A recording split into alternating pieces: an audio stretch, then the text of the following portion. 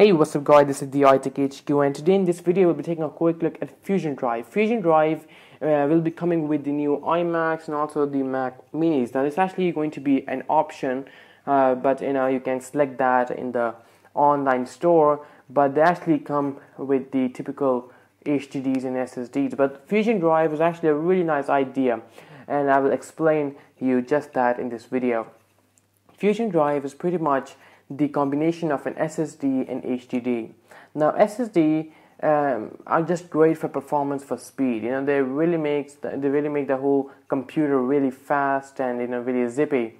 However, what's really bad about them that they're really expensive. You can get a 128 GB SSD for about I think 200 to 50 dollars. That's really expensive. However, you're getting the best performance. You're getting the really fast read and write speeds.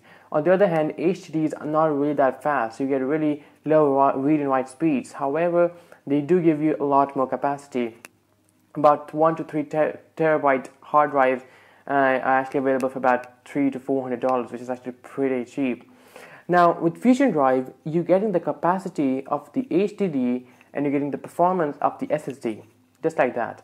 Now, what's even more cooler is that it actually the software is is really nicely integrated with the Fusion Drive as well. So, for example, when you get the new iMac with Fusion Drive in it, uh, your i your software, for example, the Mountain Lion, your iWork, your iLife Suite is going to be installed on the SSD. So when you open up your computer, your iMac is going to go ahead and boot up from the SSD rather than the HDD.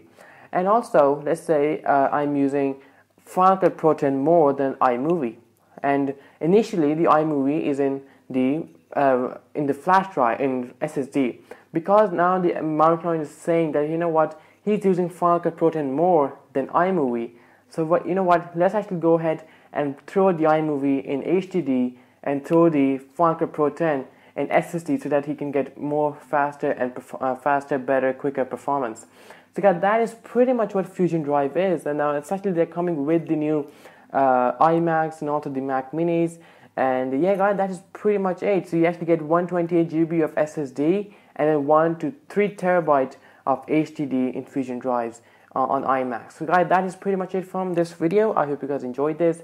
Alright guys, make sure to watch my previous videos as well. And uh, also subscribe to my channel. I will be doing a lot more um, Apple stuff. And so guys, thanks for watching this video. And I will catch you guys in the next one. Bye bye.